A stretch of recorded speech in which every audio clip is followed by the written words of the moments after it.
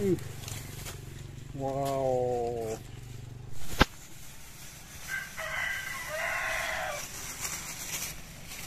Assalamualaikum warahmatullahi wabarakatuh. Ketemu lagi dengan Wasna Bonsai Di video kali ini Kita panen lagi ya teman-teman. Panen jambu delahari. Tapi ini jambu yang Sebelahnya rumah ya teman-teman. Sebelah kiri, sebelah kanan rumah. Karena saya ada Banyak tanaman jambu seperti ini Delahari Itu di samping-samping rumah teman-teman. Dan Ini mulai besar-besar teman-teman. Mulai langsung apa langsung saya petik nanti. Dan ini masih besar teman-teman. Masih bisa besar.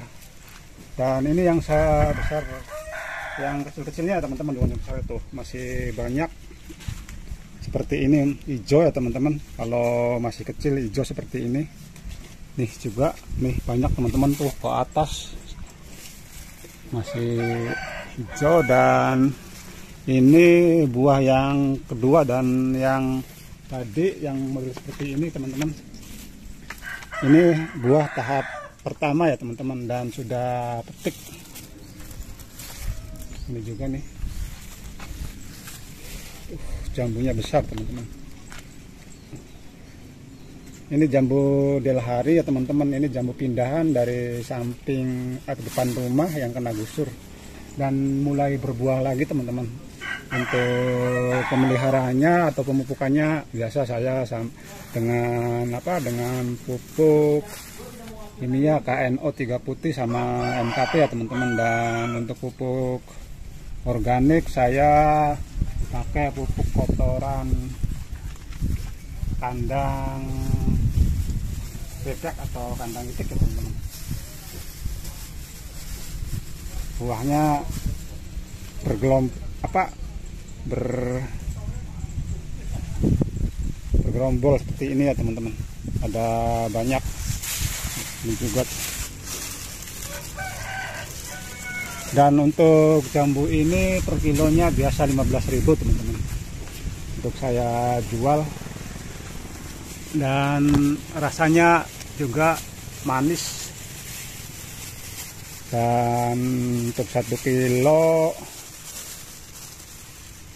biasanya ada 9 atau 8 biji ya teman-teman. Ini sebesar sebesar besar lah besar gelas Minum itu.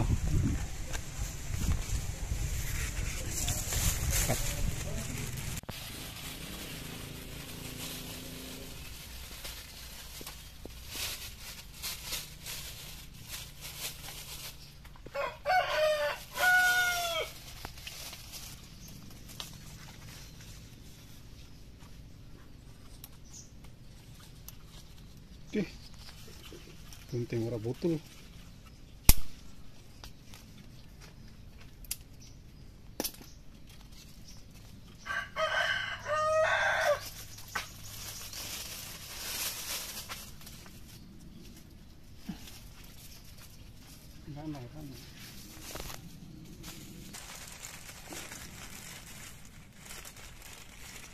Wow. Masih hijau guys. Mungkin satu minggu lagi.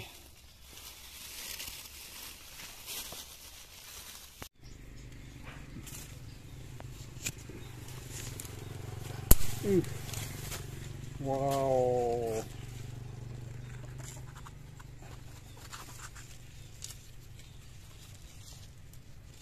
Mantap.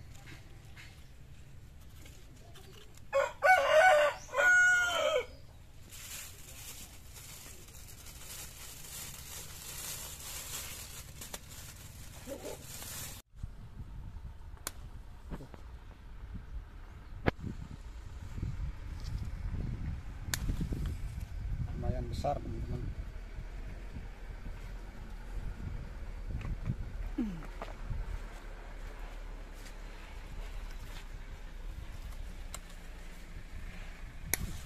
ada yang warnanya merah merona ya teman-teman.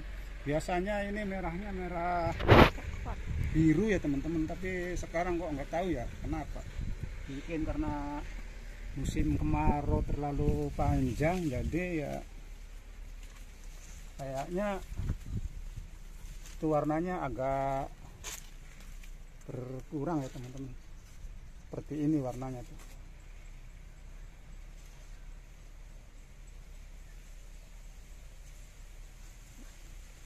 Oke teman-teman. Untuk video kali ini kita cukup sekian saja teman-teman. Assalamualaikum warahmatullahi wabarakatuh